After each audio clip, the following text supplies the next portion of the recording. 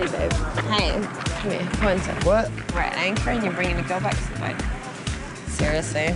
Well, if if uh, uh, Apart from the fact that we've already dealt with it this season, Cheers. You can't take girls to the boat. and apart from the fact the captain has specifically said there's no girls back, Stop being such a fing idiot, hey? what?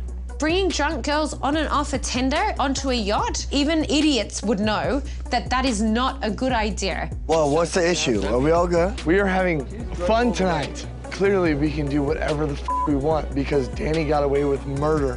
For Okay, you do six whatever weeks. the f- you want. I am. But still know that you have one f***ing stripe on your epaulette and I've got three.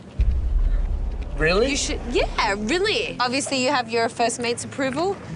And that's all on you, hey? Because I'm not Yeah, it taking is on any me. responsibility. Really? It is on me. The official first mate is giving him the green light. Like, are you fing serious? What the f? You never bring a girl back to a yacht.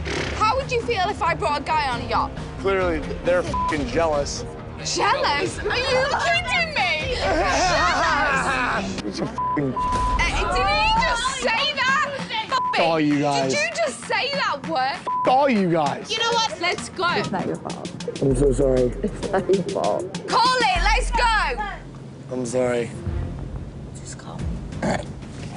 You guys are unbelievable. Start the engines. Let's go. Because it's ridiculous to bring a girl back on board. Shut up, Julia. You have a f***ing boyfriend. You've been flirting with me all f***ing season. My boyfriend It's a is. f***ing pussy.